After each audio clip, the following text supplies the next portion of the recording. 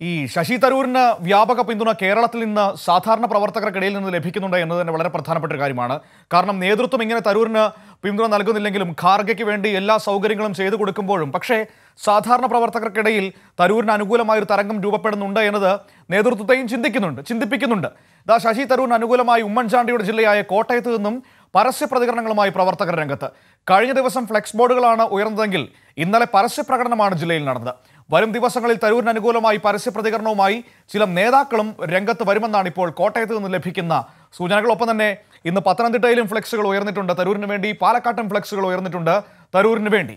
നമുക്ക് നോക്കാം ആ വാർത്തയുടെ വിശദാംശങ്ങളിലേക്ക്. നിലനിൽപ്പിനായി പൊരുതുന്ന കോൺഗ്രസ് പാർട്ടിയെ രക്ഷിക്കാൻ അതിസമർത്ഥനായ ഒരാളെ രാജ്യം ഉറ്റുനോക്കുന്നു. യുവത്വം കൈവിടാത്ത വിശ്വപൗരനും ഐക്യരാഷ്ട്രസഭയുടെ അണ്ടർ സെക്രട്ടറിയുമായിരുന്ന സുമുഖനായ ശശി തരൂരിൽ ജനം ആ സാധ്യത കാണുന്നു. ആലോചിച്ചുറപ്പിച്ചാണ് ഈരാറ്റുപേട്ടയിലെ ഒരുപറ്റം കോൺഗ്രസ് പ്രവർത്തകർ തരൂരിന് അനുകൂലമായി രംഗത്ത് വന്നത്. ഉച്ചഭാഷണിയുടെ അകമ്പടിയോടെയാണ് ശശി തരൂരിന് ഐക്യദാർഢ്യം പ്രകടിപ്പിച്ചുള്ള പ്രകടനം.